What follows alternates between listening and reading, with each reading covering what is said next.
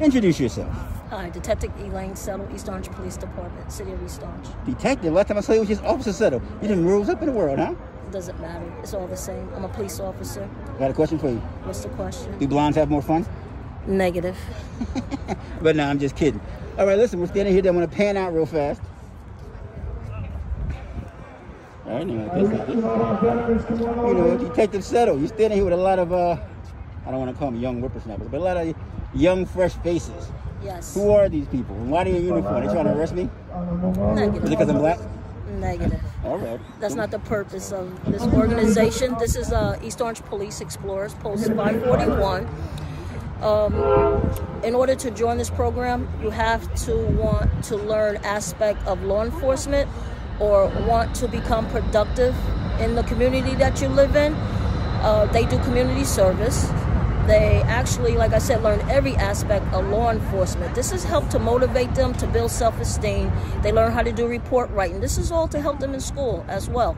How to be respectful to others, themselves, their community, how to chip in and help out when needed. Um, Any physical training? They learn chokehold. They learn the good stuff. oh, they learn all of that Really? and more. They make even, citizens they even go. They even go to the range. You know, shooting is a sport, so they do go to the range. They've been there several times. They even had a fun day doing laser tag. Uh, that was kind of like um, a training. They do competition, national. They have an annual and a semi competition that they participate against other explorers throughout the country. All right. Uh, with the pandemic, things were put on a halt, so they did not get a chance to participate. But we're hoping Don't worry about them. Go ahead. but we're hoping with uh, things starting to get back to somewhat normal that by the beginning of next year they'll be able to show what they've learned and put some of those tactics and skills up against other uh, posts and hopefully they'll be successful in uh, I don't care if they win or not. That's a lie. I do. Yeah, yeah, yeah, right. I want to bring the trophy home.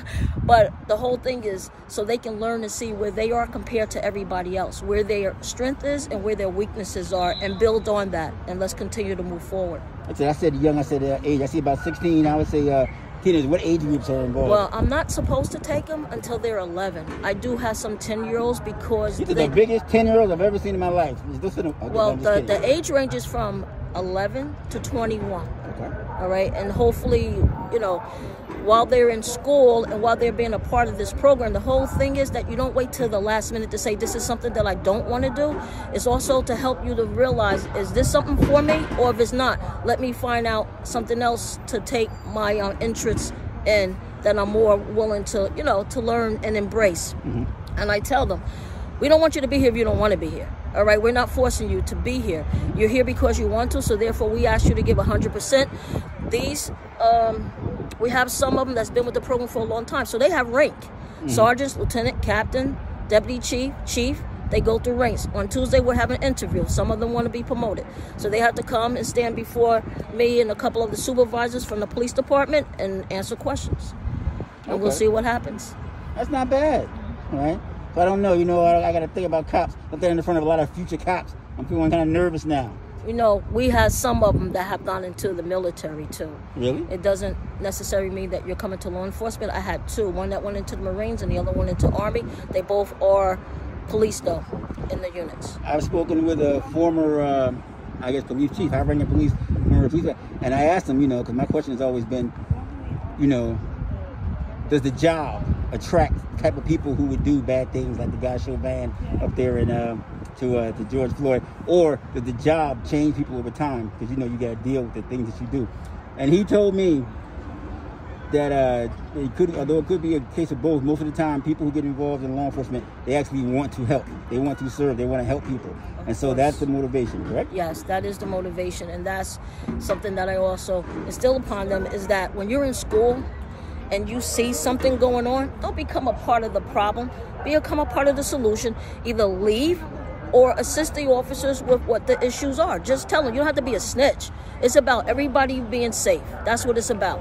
Making sure nobody gets hurt because you wouldn't want anybody in your mm-hmm. family to get hurt. So if you see something, it say say something, but you need to do something. Just don't be a bystander because there's no such thing as a bystander. You're either a part of it or you're going to help do something to solve it. Protecting your community and taking and removing a threat from your community is not snitching. Exactly. So snitching is you were doing what they were doing and you told on them so that you can get away. Exactly. for- you know, telling on somebody who's going to hurt somebody or hurt your family, that's not snitching. Correct. You're absolutely right. That Yeah. is not being a snitch. Okay. That's all. I, I, I, got, I gave them a heads up, so I'm gonna see how quick you are on their feet. Let's see what that training is all about there. Introduce yourself. Um, explore. Charisma Braime. Charisma. Spell Yes. that for me. C H A R I S M A. Spell your last name for me. B R A I M E. How old are you? 16. You know, does that hair on top of your head interfere with you being a junior explorer? No. Yeah. Yes. Yes. Yes. Yes. Yes. All right. And the reason I asked that because that's one of the reasons why, apart from the uh, earring and the nose ring. But how old are you?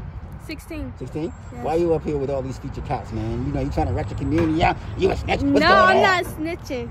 I'm here to help my community Why? Why you want to help your community? because, like, it's a whole lot of Say it, say it. It's okay. She's here to get. She got your back. it's a whole lot of stuff going on around my community and stuff, and like people around my age, they doing things that they not supposed to do, and so I'm like trying to help them and like introduce them to the program so they could get onto the right track. I know. Listen, my thing is friends don't friends don't let things friends don't let friends do things that's going to get them in trouble. Exactly. That's, That's my- them to the It's all right. That's all right. Right. What about all this physical stuff? You know, I learn how to do, uh, use guns. You know how to take anybody down. You got a chokehold for. You got any kung fu grip in you? Yeah, I know how to do a. Is that a good thing? Yeah, it's a good thing. I know. I listen. I'm not being sexist, but I always believe that women, not everybody in general, but women especially, because you're girls, right? And you know, females, and you have to deal with us, right? Is that uh, you should know how to defend yourself and protect yourself in, in, in case of situations, you know, good and bad. So, I mean, do you agree with that? And does this this training that you have now make you feel more confident? So, some somebody walk up on you, and he won't take no for an answer. Go, yo, step off. The question is, do you feel more empowered by knowing and being aware of your capability to defend yourself and defend others if necessary? yeah. I Is that a good thing? Yes, that's a good thing. Would you recommend to other young ladies? Yes. Thank you.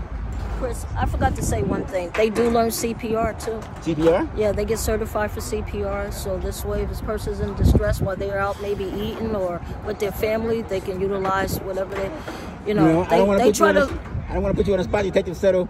But if, you, if the police explorers know CPR, that means cops know CPR too. So whenever you see all these app- these uh, cases of these uh, unarmed, you know, individuals calling out they need they, he can't breathe, those guys know CPR. They could help him out and tell Of to course breathe. they can. Of course they can. That's, that's we're obligated though for that. That's the same. That's the same way if you're a suspect and you get stabbed or you get shot. I'm still supposed to render aid to you. It doesn't make you a bad person. You know, you still have a right to live. If I can help you to survive, that's what I'm supposed to do. What is it for? Protect life and property. Correct? That's what law enforcement is about. Life and property.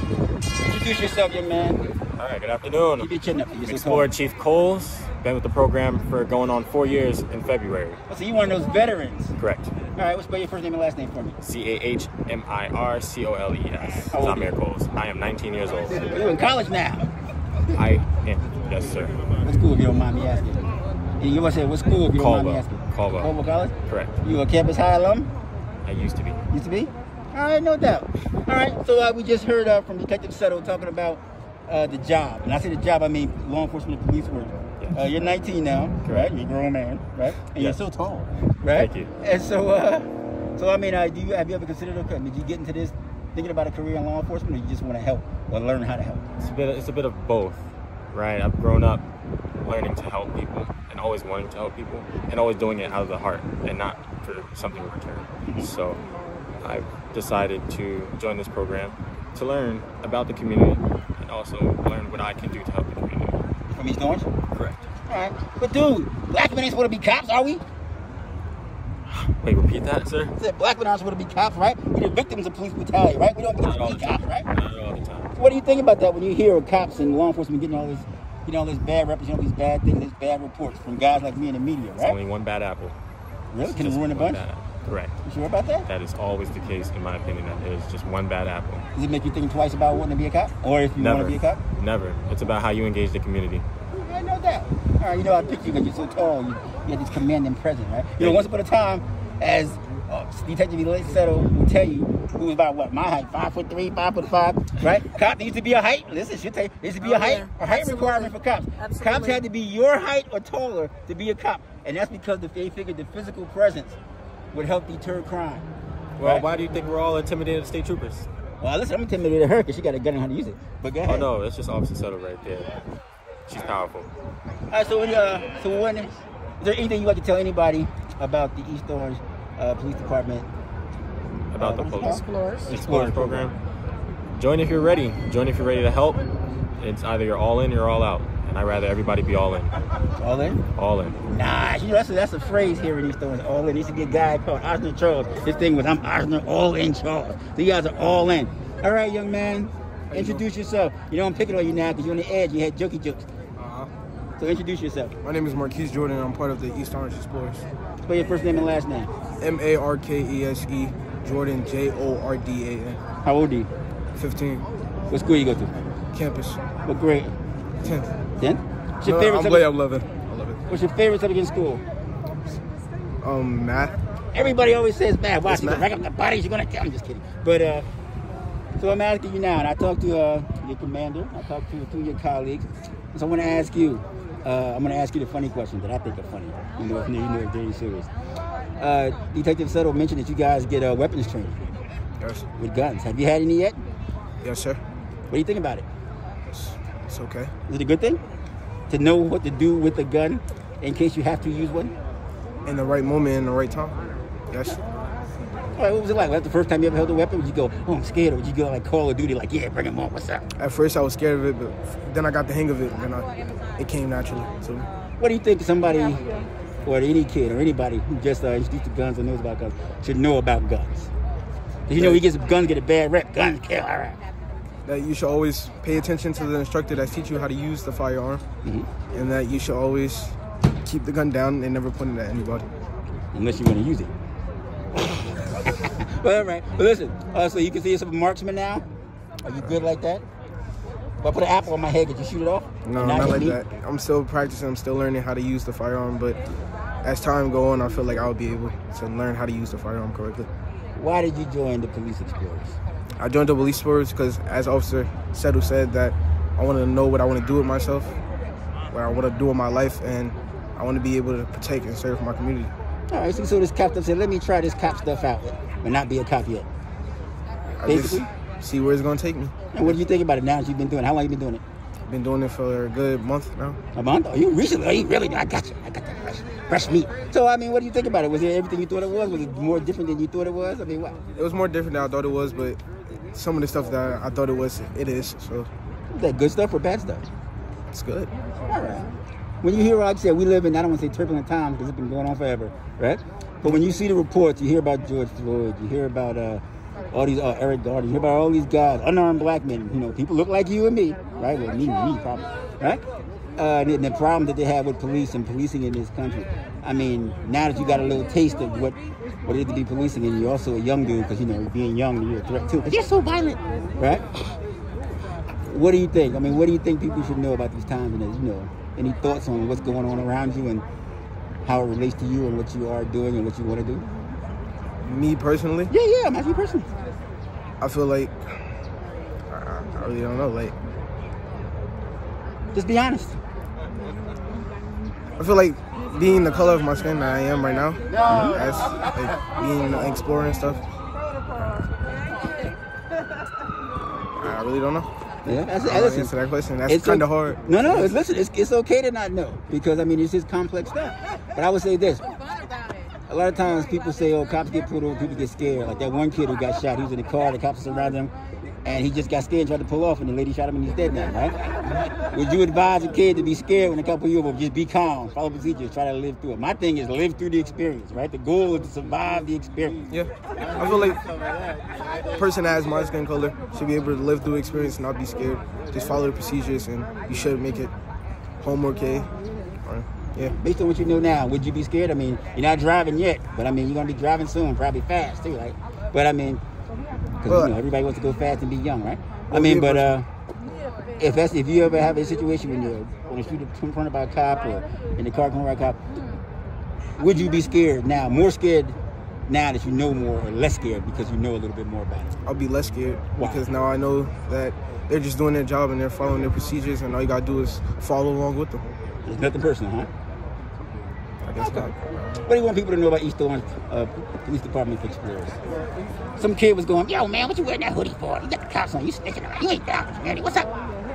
That they don't know it until they try it. I guess. All right, that's not bad. All right, and listen, I knew her before she was a blonde. She wasn't always fun. I'm just kidding. So we're gonna wrap this up. Detective Settle. Yes. Is there anything you want to say? listen, I'm gonna back up and I'm gonna pan out so I can get a group shot of everybody. Okay, that's All fine. Um, anyone interested in joining the East Orange Police Explorer, you can come to East Orange Police Department for now. We're working out of 15 South Munn Avenue, East Orange Police Headquarters. Our normal meeting location, though, is the campus, 344 Prospect Street, Tuesdays and Thursdays, 4.30 to 6.30. Tuesdays and Thursday, 4.30 to 6.30. So if you're interested in learning about law enforcement or have an interest in becoming a, a future uh, police officer with the City of East Orange, come and see me. My phone number is 973 266 5070. 973 266 5070. I work out of community relations at the East Orange Police Department. And listen, I want to tell you guys something that you didn't know about your uh, your commander, your detective, that maybe you didn't know.